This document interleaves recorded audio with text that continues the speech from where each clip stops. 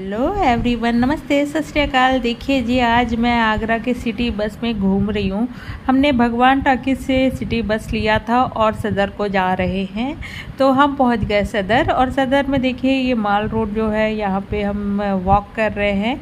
यहाँ पे बहुत सारी आपको वैरायटी मिलती है, बहुत सारा ऑप्शन मिलता है, मज़ा आ जाता है। अगर आपको शॉपिंग करना है रोड साइड शॉपिंग ऐसे साइड साइड में यहाँ फुटवेयर बहुत अच्छे अच्छे मिलते हैं। कलेक्शन, ज्वेलरीज जो है, उसके कलेक्शन अच्छे होते हैं। मोस्टली जैसे फुटवेयर होता है ना तो यहाँ से आप लो तो बहुत अच्छे वैरायटी मिल जाते हैं। रेट भी सही रहता है। बार्गनिंग करना आना चाहिए बस आपको। इस जगह पे तो आपको अच्छी चीज़ें मिल जाएगी। तो काफ़ी लोग ख़रीदते भी हैं यहाँ से और हमने भी जो है यहाँ से मैंने रिंग लिया। रिंग बहुत डिफरेंट डिफरेंट वेराइटीज़ की थी तो मुझे ये ऑक्सी मेटल जो होता है, इस मेटल में लेना था। तो यहाँ से मुझे पसंद आया एक हैवी झुमका वाला पैटर्न तो वो मैंने लिया है। और चलिए अब आगे चलते हैं। यहाँ हम घूम रहे थे तो बहुत सारी वैरायटी भी देख रहे थे। मम्मी को लेकर आए हैं फ़र्स्ट टाइम मम्मी अधिकतर आई है आगरा बट यहाँ नहीं आ पाई थी, सदर नहीं आ पाई थी। तो हमने बोला, चलो, इस बार सदर घुमाते हैं। और सदर में, पता है टाइम का बिल्कुल भी पता नहीं चलता कैसे टाइम बीत जाता है। और पीहू तो बहुत इंजॉय कर रही थी कि नानी के साथ घूम रही हूँ। उसे बहुत मज़ा आया। और ये देखिए, आ गए हम सदर वाली। खाने पीने वाली गली में, यानी चौपाटी में तो यहाँ पे आपको इतनी वैरायटी मिलेगी ना, इतनी वैरायटी और सारा भीड़ इसी गली में मिलेगा आपको खाने पीने के एरिया में। तो मेरी मम्मी जो है ना, मोगरा का माला देखी ना तो गजरा तो मेरी मम्मी पूछने लगी तो मैंने मम्मी को बोला, मम्मी, कौन लगाएगा गजरा? पहले लगा लेते थे, अब तो देखो बाल खुले हैं, चोटी भी नहीं है कि गजरा लगाए तो अब हम आगे बढ़ रहे हैं। तो आगे देखिए, खाने पीने की ही वैरायटी मिलेगी, यहाँ चाट, भल्ले, गोलगप्पे और पनीर की वैराइटीज़ वेज नॉन वेज सारी चीज़ आपको आइटम मिलेंगे यहाँ पे। नॉन वेज जो है, यहाँ पे मामा चिकन करके है, वो उस एरिया में आप जाएँगे तो वहाँ मिलेंगे, ज़्यादातर यहाँ वेज ही है। तो ये लाइन में आपको वेज मिलेगा सारा वैरायटी जितना भी है। तो हमने भी सोचा इतना पहले हमने सोचा चलो पहले एक्सप्लोर करें क्या क्या है। तो पूरा घूम कर देख रहे थे सारा चीज़ देख लिए। फिर उसके बाद हमने डिसाइड किया कि हम लेंगे चाइनीज़ प्लेटर क्योंकि पीहू को चाइनीज़ प्लेटर खाने का मन था।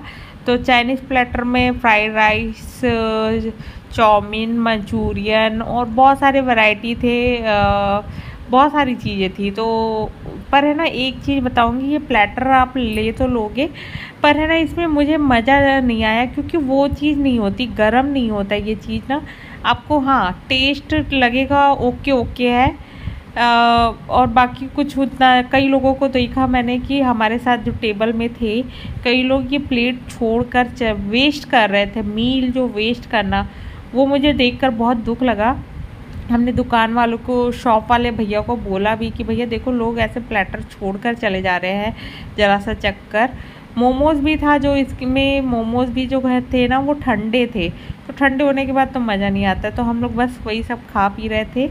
और, मम्मी को ये चाइनीज़ प्लेटर नहीं खाना था, मम्मी को कुछ और खिलाने वाले थे क्योंकि स्पेशली मैं मम्मी को कुछ स्पेशल खिलाने के लिए ही यहाँ लाई थी। तो मम्मी ने बोला, मैं ये नहीं खाऊँगी। तो मैंने बोला, आप एक बार चेक कर देखो कैसा लग रहा है। क्योंकि पीहू ये फुल प्लेटर ख़त्म नहीं कर पाएगी।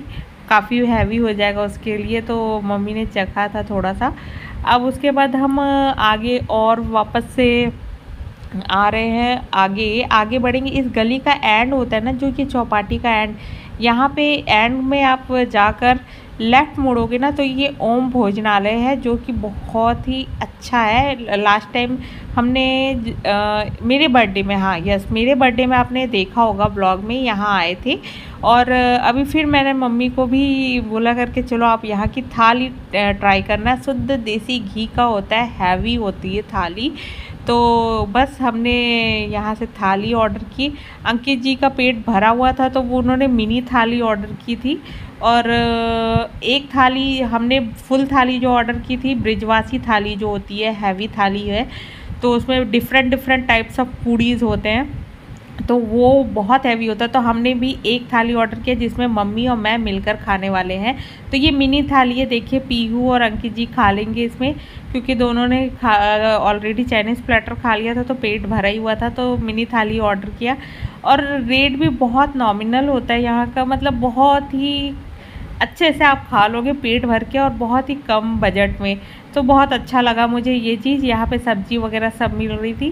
तो पीहू और अंकित जी अपना जो थाली है वो फिनिश कर रहे हैं। अब हाँ आ गई थी हमारी थाली थाली, ब्रिजवासी थाली। इसमें देखिए गुलाब जामुन है, छाछ है दही भल्ले है, पूड़ी की अभी डिफरेंट डिफरेंट पूड़ीज आएगी, मिस्सी पूड़ी आएगी और दाल वाली पूड़ी आएगी प्लेन पूड़ी आएगी। बहुत सारी कचौड़ी वाली पूड़ी थी तो बहुत सारी वो गरम गरम सेक सेक के ला रहे थे। ऐसे है कि चार चार पूड़ी देकर जा रहे थे।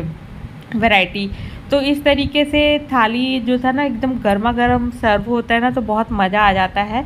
तो हमने तो मील अपना बहुत इन्जॉय किया और इस्पेशली मम्मी को भी मज़ा आया। यहाँ पे हैवी थाली होता है प्योर घी का होता है।